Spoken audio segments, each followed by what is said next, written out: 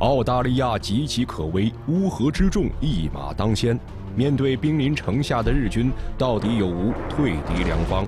但是布莱恩觉得，日本兵再傻也不会傻到翻越欧文斯坦尼这个山脉，因为这个山脉太难走了，所以他只派了七十多个人去守这个科科达机场。战争初期，日军占据优势，怪异之举成为战争胜负手。本已占尽优势的日军，为何突然失去理智？如果我拿下了瓜岛，我再来打摩尔兹比也不迟。所以，他就命令进攻摩尔兹比的这个日本人就撤回来。但是最终两头都没有落到。日军战略全部失败，美国最终坐收大礼。日本最终的失利是否真的无法避免？所以一两千人对付万人的盟军部队，你当然会遭受大败。新几内亚战场成为日军跨不过的鸿沟，一场看上去规模不大的战役，为何成为了太平洋战场上的最大转折点？波尔兹比战役，也就是在新几内亚这个方向上这个战役，是对整个南太平洋上这个战场的局势。有着关键性的影响。本期沙场为您讲述美军在二战太平洋战场上一场鲜为人知的惨烈战役。敬请收看本期节目《被遗忘的战争转折点》。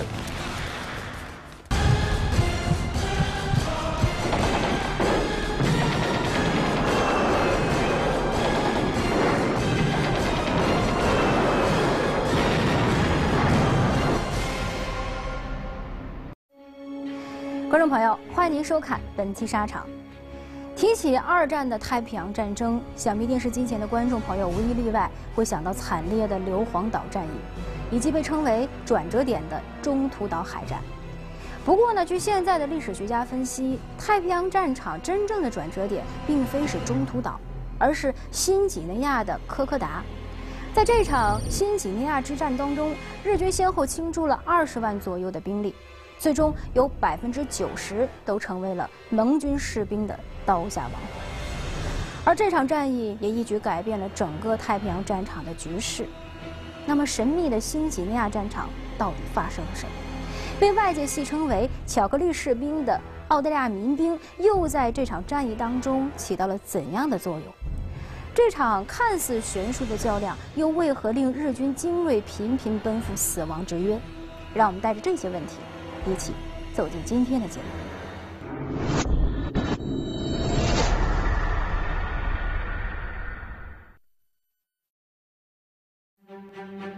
一九四二年七月，巴布亚新几内亚科科达悬崖峭壁的顶端，七十七名澳大利亚的年轻士兵紧握着手中的步枪，警惕地盯着山下随时可能出现的日军部队。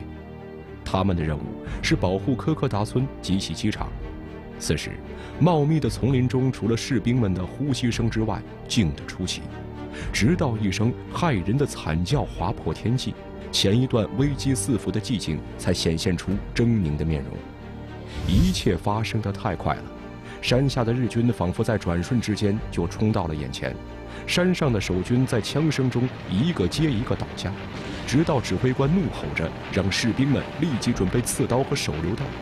七十七名澳军才从刚才的震惊中缓过神来，疯了一样的迅速朝山下开火。一名绰号为“黑烟”的士兵第一次真正感到害怕，不知为什么，眼前血雨腥风竟然让他的脑中突然闪现出了整个队伍出发前的场景。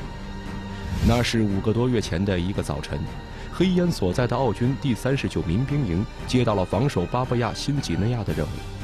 帐篷中的六个人都为此欢呼雀跃，因此下达命令的军官告诉他们想带什么就带什么。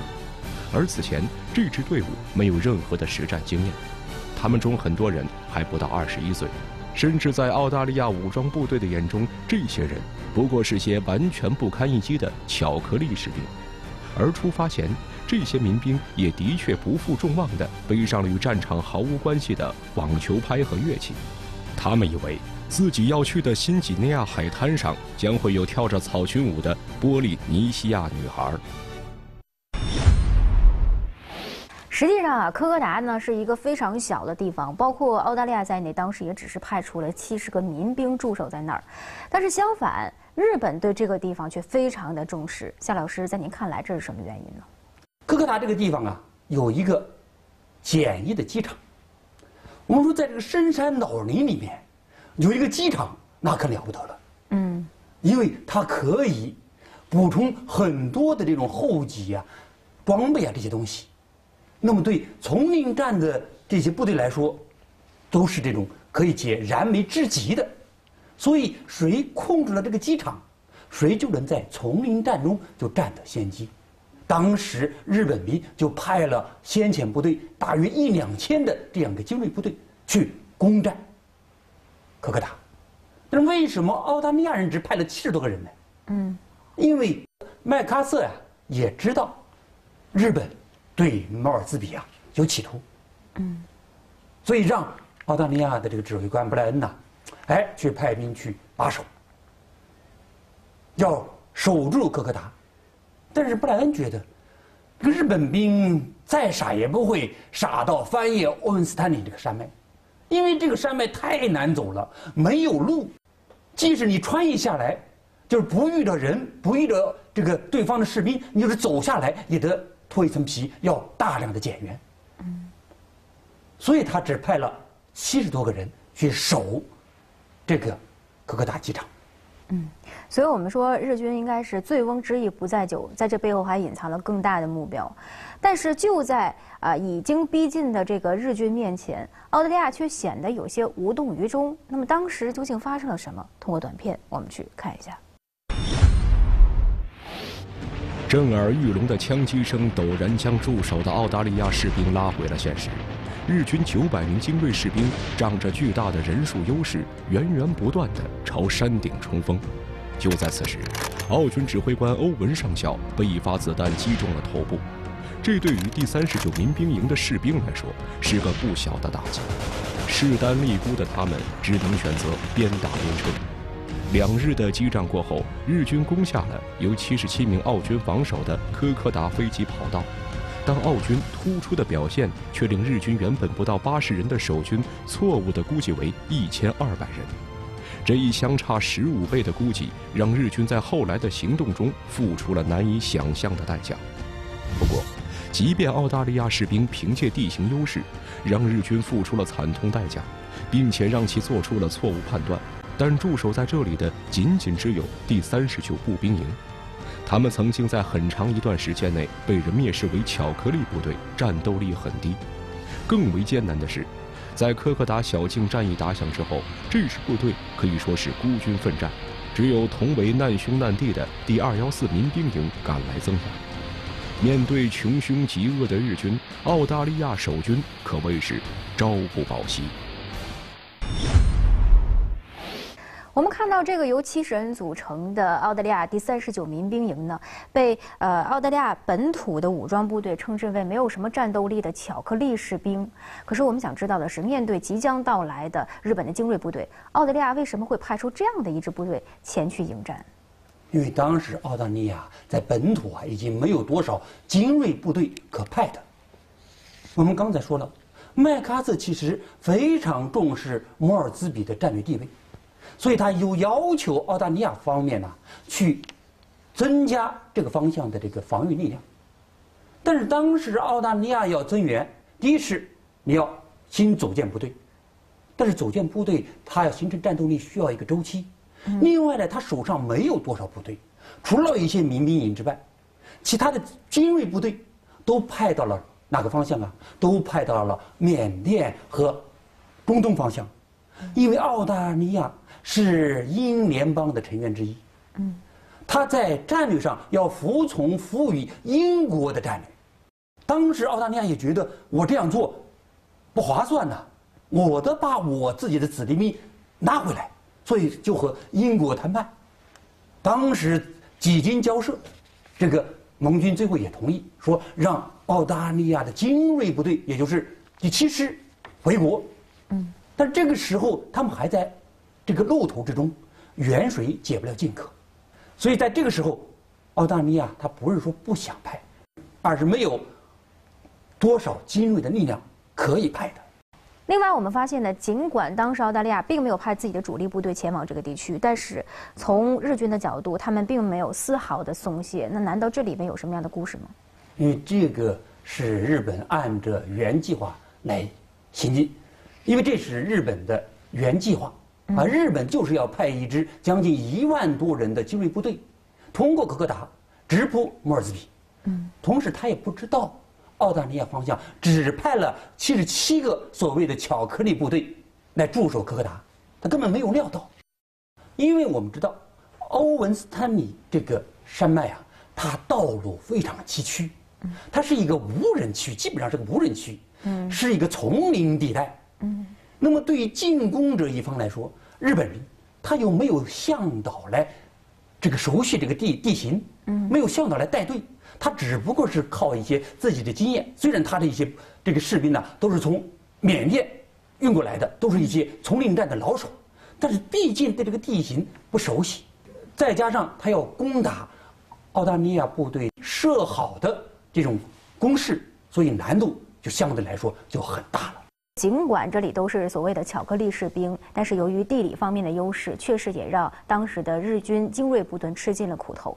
但是我们注意到，即便是面对强大的呃日本精锐部队的攻势，但是澳大利亚方面却没有派援兵过来，这究竟发生了什么？我们继续往下看。一九四二年八月初，潮湿的天气以及不期而至的雨水，令澳军第三十九民兵营有些不堪重负。派出去的先遣队已经在与日军的第一轮交火中被打得七零八落，身后传来的枪响无时无刻不在提醒着他们同伴的遭遇。无论怎样小心隐藏，总有后方的士兵遭到日军的伏击。土黄色的军装让澳军在丛林中分外显眼，一个不留神，鲜活的生命就沦为丛林中的移动靶心，被日军轻松击毙。然而，战场的惨状却并没有引起奥军指挥官布莱梅将军的注意。他似乎还没有从科克达陷落的震惊中缓过神来，也完全没有意识到日军真正的进攻意图。此时的奥军指挥官将全部的精力放在了修建新几内亚的公路上。并在从莫尔斯比港到科克达修路的提议被否决之后，致力于从米尔恩湾修一条直通布纳的公路。面对科克达的战况，他也心有余而力不足。至此，科克达守军彻底成为了没人要的孩子。尽管新任指挥官拉尔夫霍纳中校已经到任，并且带来了援军将至的消息，但严重缺乏休息和食物的士兵们已经是筋疲力尽。而身后的号角声仍不断响起，鞭挞着他们加入战斗或者急速前进。咬牙坚持的士兵们急切地希望攀上茂密的伊索拉瓦丛林之后，能与援军一道杀日军一个措手不及。我们看到这个第三十九民兵营啊，尽管人数比较少，但是总体上打得还算不错。可是我们注意到，尽管人数这么少，还是个民兵营，但是呃，澳大利亚方面并没有派兵来援助，这个怎么去理解？这里面有什么隐情吗？首先，我们要称赞这个澳大利亚三十九民兵营打得确实非常的勇敢。我们说日本兵呢，在当时已经打出了这个赫赫的声名，哎，都认为日本人这个打仗非常勇敢。但是在这次战斗中，澳大利亚人一点不逊色日本兵，作战非常勇敢。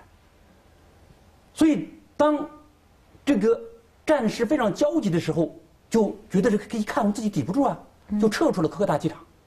然后日本兵就占领了科大机场。占了机场之后，我要反攻啊，夺回来，但是夺回来自己手中兵力不够，就打电话向指挥部求援。那指挥部马上就把他们的营长欧文派过来。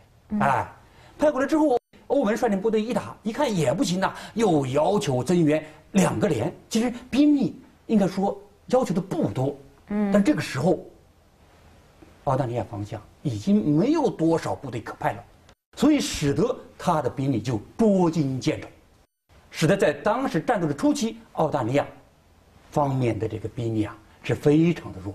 嗯，所以一方面我们看到澳大利亚没有办法重兵去前往这个地区进行支援，那么这似乎也是给日本一个可乘之机。随后呢，他们开始大量的集结兵力，向第三十九民兵营的营地开始进发。一九四二年八月二十六日，已经等候多时的澳大利亚守军显得极为不耐烦。坚守数天之久的第三十九民兵营正艰难地把守着伊索拉瓦上岸，而计划当中的援军迟迟不能赶到，想要打赢这场战斗已经是不可能了。他们的目标只有一个，尽可能给日军带来麻烦。守军誓死抵抗，却希望渺茫；援军蓄势待发，却空等一场。瞬息万变的战场局势，到底还暗藏何种危机？日本的指挥官呢，就轻敌了。说我五个人打你一个人，五比一的这个优势兵力，我怎么打都能赢呢？所以就采取了非常简单的这种战术。澳军撤退虽败犹荣，日军小胜，伤亡惨重。初出茅庐的澳大利亚民兵为何会令日军方寸大乱？澳大利亚人在个防御上面做的比较好，哎，修了非常坚固的这个工事。日本兵呢在正面冲锋啊，达不到什么好效。更多精彩，稍后继续。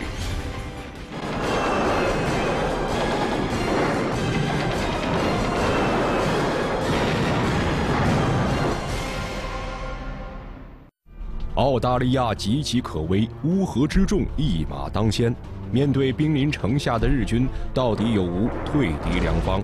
但是布莱恩觉得，这个日本兵再傻也不会傻到翻越欧文斯坦尼这个山脉，因为这个山脉太难走了，所以他只派了七十多个人去守这个科科达机场。战争初期，日军占据优势，怪异之举成为战争胜负手。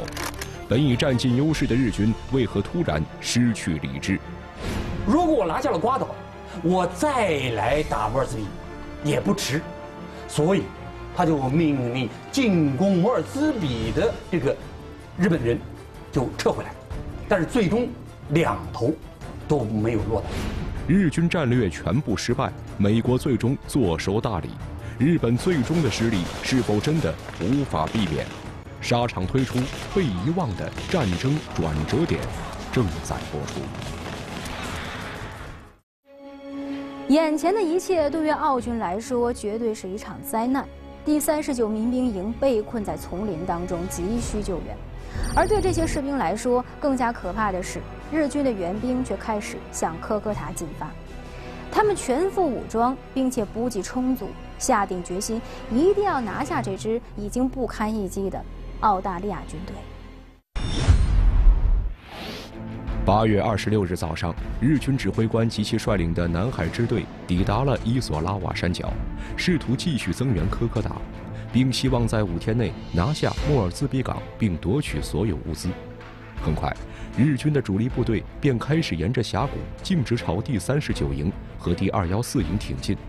与此同时，还有两支日军分队分别向东西两侧进发，企图包围澳大利亚军队。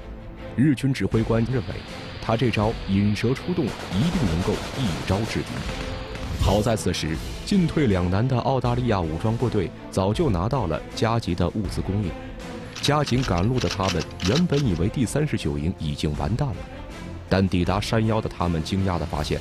一度被他们蔑视的澳军士兵仍在顽强抵抗着日军的攻势。三十九营和二幺四营两支部队迅速融为一体，他们不分彼此，在防空壕里随时准备迎战日军。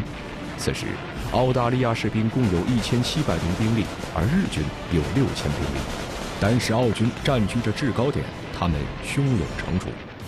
可遗憾的是。由于人数上的巨大差异，令澳军指挥官的压力变得越来越大。派出去的分队至今仍没有消息，最后的阵地随时面临着失守的危险。虽然澳军仍然没有放弃，他们装上刺刀，开始和冲到面前的日军展开殊死肉搏，但士兵的伤亡人数与日俱增。最终到了八月三十日，面对巨大的伤亡，澳军指挥官无奈之下只得下令撤退。科科达正式沦陷，但是日军尽管赢得了胜利，却付出了伤亡约五百人的代价。而令人惊奇的是，澳军的伤亡人数仅是日军的一半。最终呢，我们看到澳大利亚军队呢还是失守了，但是从这个伤亡人数来看，这个澳大利亚军方的伤亡人数是远远低于日本军的。刚才我们说了，这是一个力量呃对比非常悬殊的一场战斗了。呃，在战争史当中，类似的情况也不多见。您帮我们分析一下。那么在这次战斗中，澳大利亚的军队打得非常好。虽然他没有守住科克达，但是在随后的防御战中，且战且退，应该说极大的消耗了日本的这个兵力。之所以会这样，第一是澳大利亚人在个防御上面做的比较好，啊，修了非常坚固的这个工事。日本兵呢，在正面冲锋啊，达不到什么好的效果。其次啊，都是当时澳大利亚军队啊，他熟悉地形。打不了我就转移就跑，所以他能够保存自己的有生力量。而日本人呢，伤亡之所以这么大，和他的战术有关。当时日本的兵力对澳大利亚军的兵力是五比一，所以日本的指挥官呐就轻敌了，说我五个人打你一个人，五比一的这个优势兵力，我怎么打都能赢呐，所以就。采取了非常简单的这种战术，什么战术？就正面攻击。正面攻击不行，那再次侧面攻击。所以澳大利亚指挥官一看，这个太傻了吧，太呆板了，所以就对日本的这个进攻啊，就进行了非常有效的这种防御。后来日本兵在吃了这个亏以后，伤亡增加了之后，才改变了这个战术。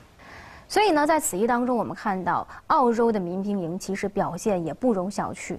那么就在此时，原本处在优势的日军却犯了一个致命的错误，又让澳大利亚军队扳回了一局。在南海支队沿科克达小道进击澳军的同时，日本海军特别陆战队打起了海上进攻的算盘。他们企图在米尔恩湾的拉比登陆，占领那里的机场。在他们看来，米尔恩湾的拉比守军只有两到三个连以及二三十架飞机，应该不足为惧。因此，他们催促第八舰队司令官三川军一由海上单独进攻。同时，自布纳出发的佐世保第五海军陆战队的三百五十人也将乘机动舟艇在拉比以北登陆，配合进攻。但此时的美澳空军早已经受命起飞。八月二十四日中午。自布纳出发的日军编队，在盟军数十架 P-40 战斗机的袭击下，舟艇全毁，被迫终止了行动。而在拉比登陆的第八舰队，尽管赶到了滩头，但却在澳军的空袭之下失去了大部分给养。尽管如此，日军还是在二十七日晚间，在仅有的两辆九五式轻型坦克的掩护下发起了进攻，将缺少反坦克武器的澳军逼退至机场。此时，日军并没有意识到有什么不对，直到自己被来自四面八方的火力包围。早已守候多时的澳军第七零九空降防空营和第四十三工兵营的十二点七毫米机枪和三十七毫米反坦克炮，将处在机场跑道开阔地带的日军打得毫无还手之力。撤回丛林的日军原本想等矢野石海军大佐指挥的七百七十名援军抵达之后，再度发起进攻。但是澳美守军的顽强抵抗却没有让他们占到半点便宜，在丢下一百六十具尸体之后，这些日军不得不匆匆地撤回了海滩。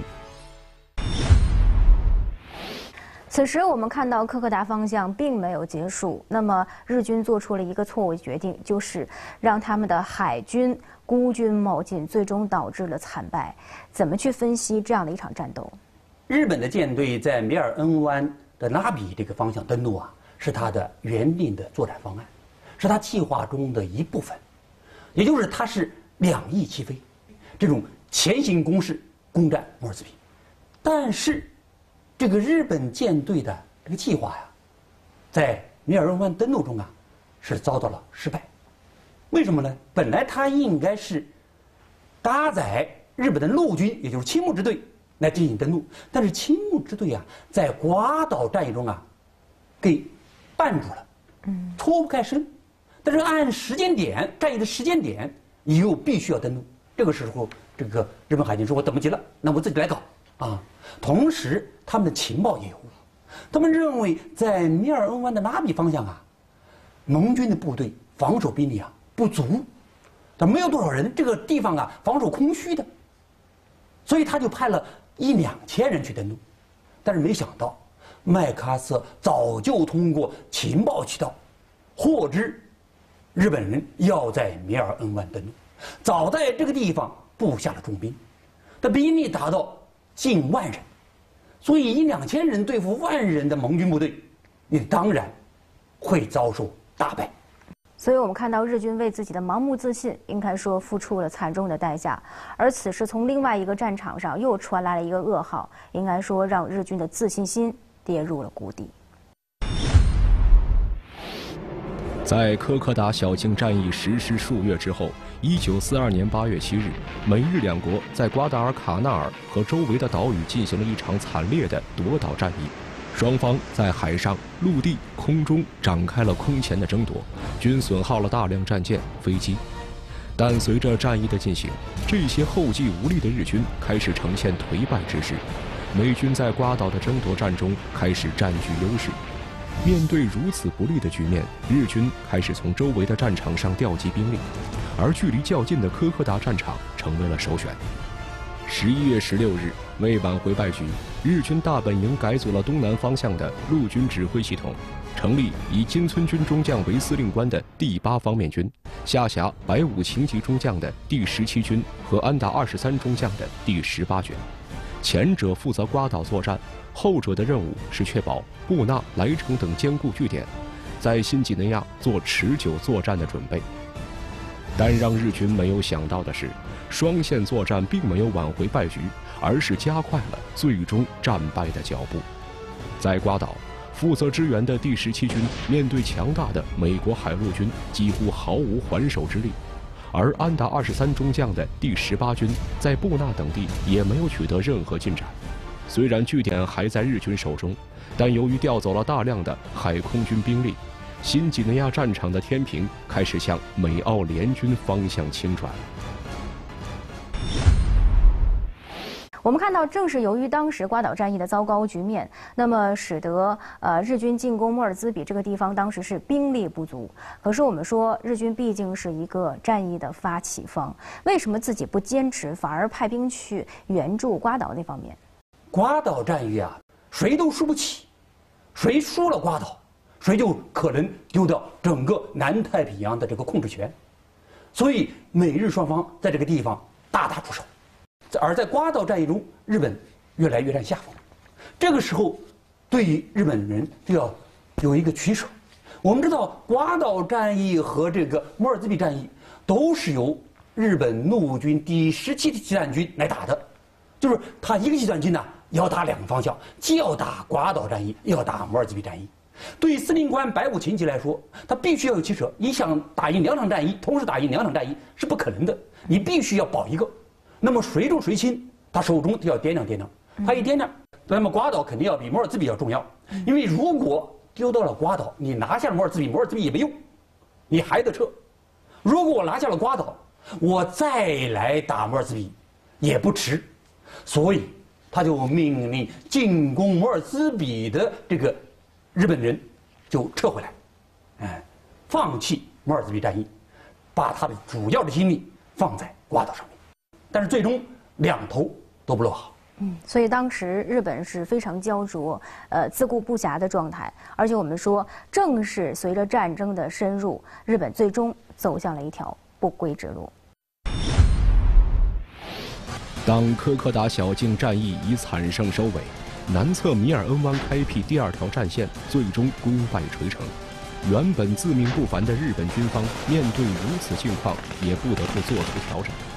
从进攻转为防御，试图利用最后的据点进行困兽之斗，但美澳联军却不给日本人任何机会，大军已经逼近老巢。日军计划看似天衣无缝，却是漏洞百出，难以预料的结局为何出现一边倒？这些日本兵之前都在地班里面进行生活战斗，那就是好像是得到了大赦令一样。在四处逃窜，万名士兵发动反攻，美澳联军到底用何手段将新几内亚战场变为日军的末日梦魇？因为他们的后勤补给啊跟不上，啊，没有吃的，也没有什么医疗好的医疗条件，所以饿的这个可以说是皮包骨头。更多精彩，稍后继续。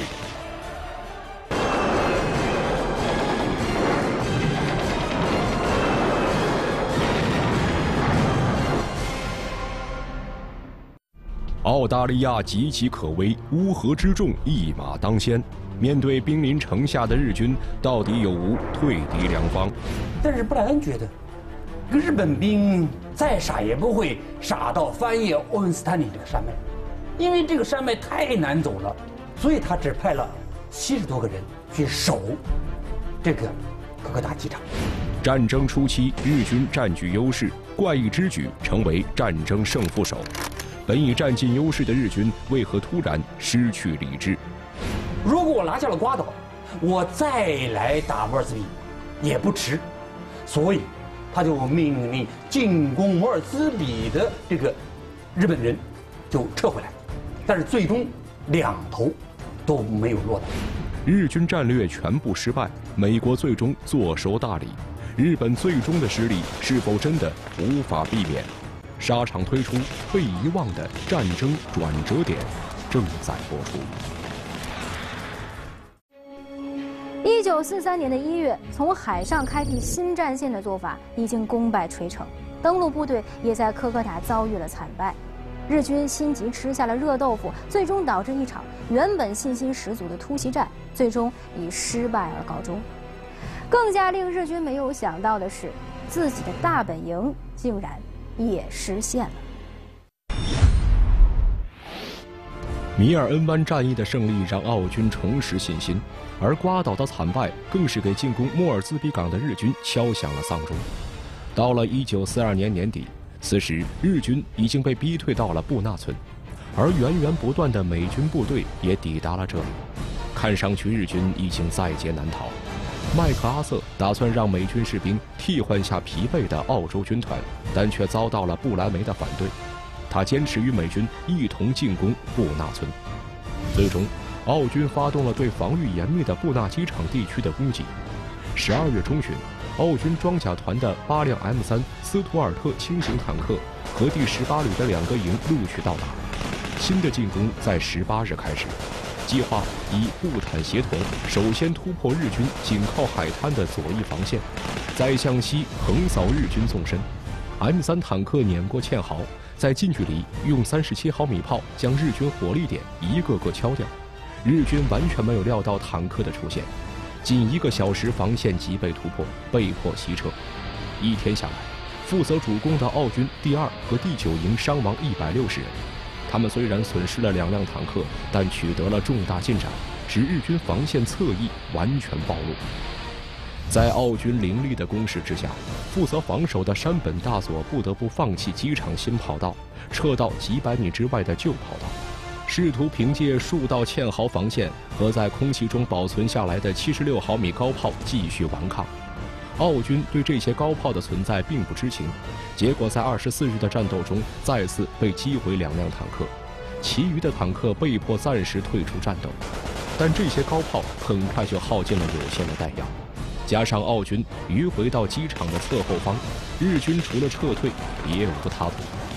战至二十八日，日军有组织的抵抗已经基本被粉碎，澳军已经牢牢地控制了机场。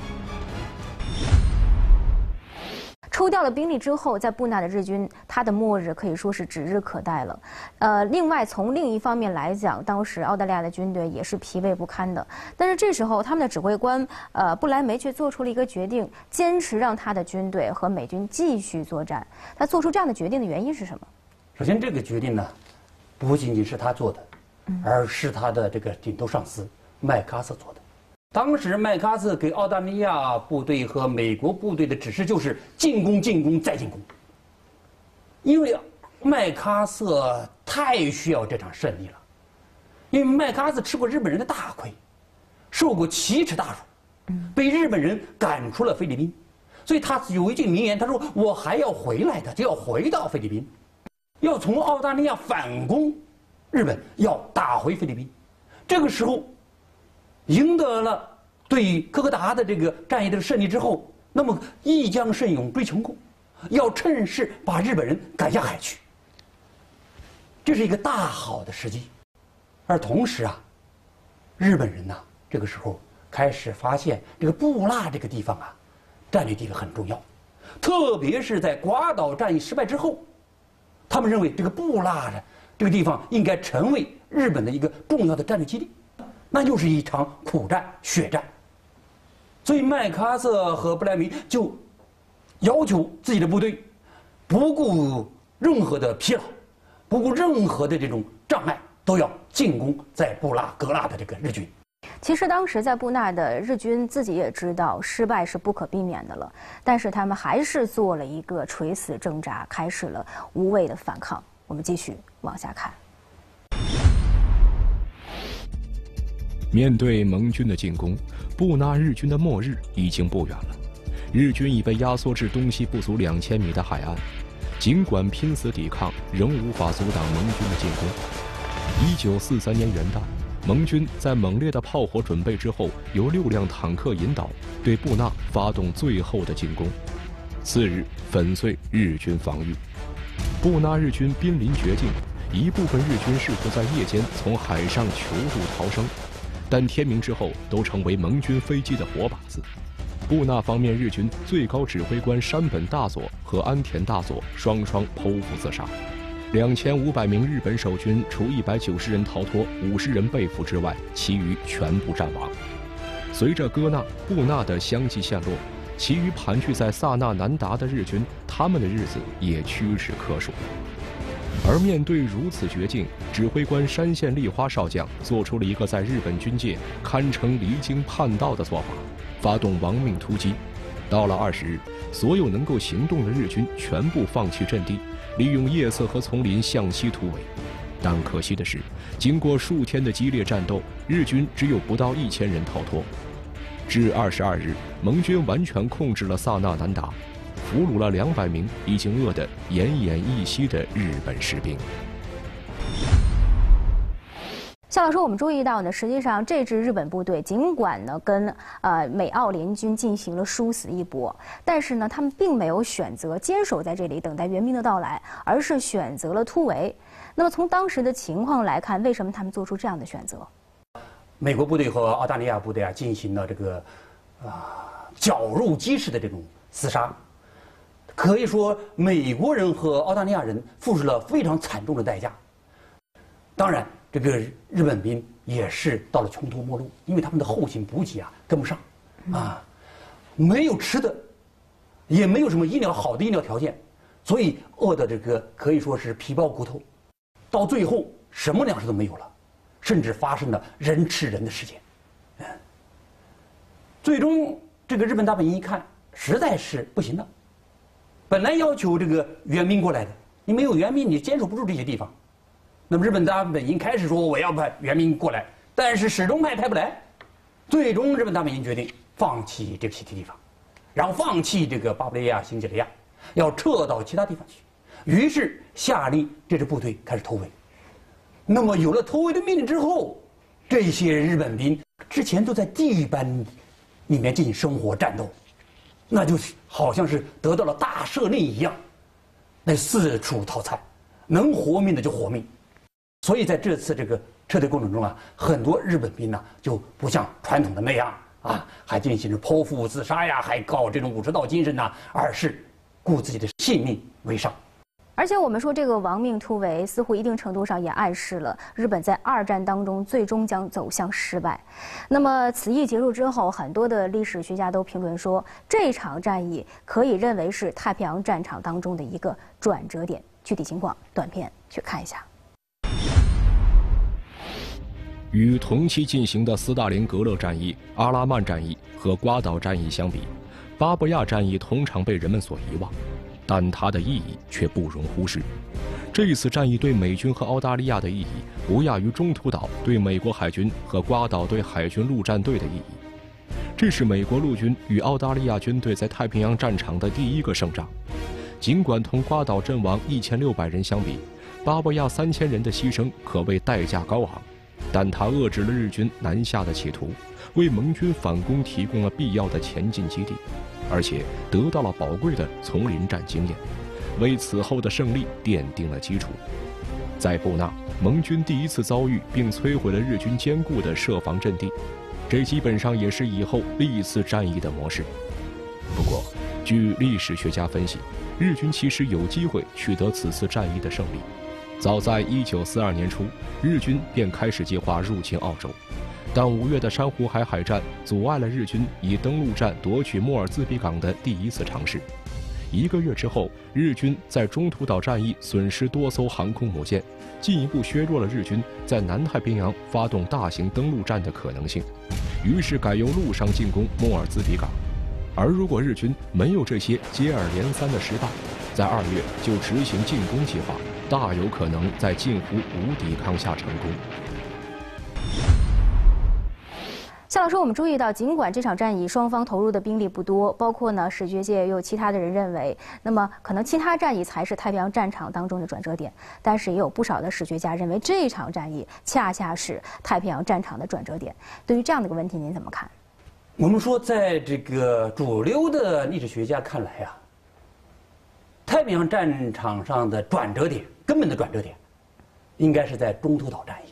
嗯，因为太平洋战场的决定权主要是在海上，谁拥有了制海权，谁就能左右整个太平洋战场。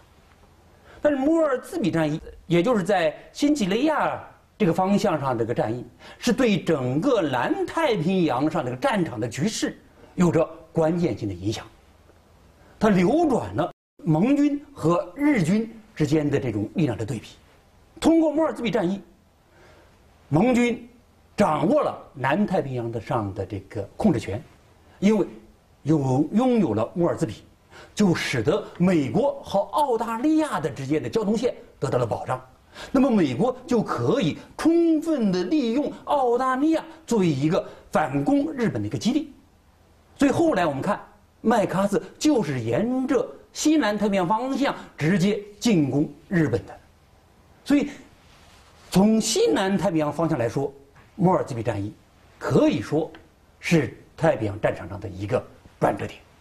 尽管如此呢，我们还是做一个假设：如果说当时日军不进行这个珊瑚岛海战或者是中途岛战役的话，那么1942年的2月，重兵压制呃莫尔兹比港这个位置，那么很有可能莫尔兹比港就被他拿下了。但是日军错失了良机。那么您如何看待这个假设？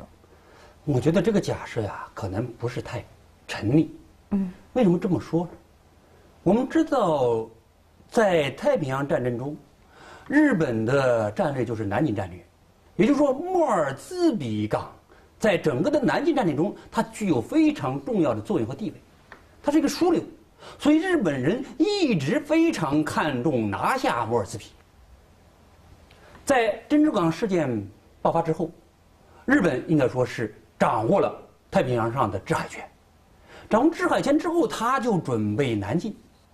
所以，南京的一个重要方向就是在澳大利亚方向。为此，他就要进攻纳鲍尔啊，这个摩尔兹比呃这个地方。但是，要进攻这个地方，你必须要拥有制海权，要先摧毁在附近的海面上的这个盟军的舰船。嗯。所以，这也就有了珊瑚海海战。所以，他就转过头来，发动了中途岛战役。那么中途岛战役就是要歼灭美国的太平洋舰队，因为没有歼灭了美国太平洋舰队，在中途岛失败，所以就导致他的海上力量大为削弱，也就不可能在摩尔兹比港这个方向实施大规模的登陆，所以这摩尔兹比战役也就不可能获得胜利，所以他的几个这个方向上的这个战役啊，都是息息相关的，一环扣一环。简单的说，如果在一九四二年他直接进攻莫尔兹比，他就能拿下，在在当时也是不太现实的。科科达小径的战场是惨烈的，但澳大利亚军队却克服了种种困难，在条件极为有限的情况下，成功拖住了日军进攻莫尔兹比港的步伐。他们的胜利不仅保住了自己的国家，也为之后盟军反攻日本提供了有力的保障。最终为整个二战的胜利奠定了坚实的基础。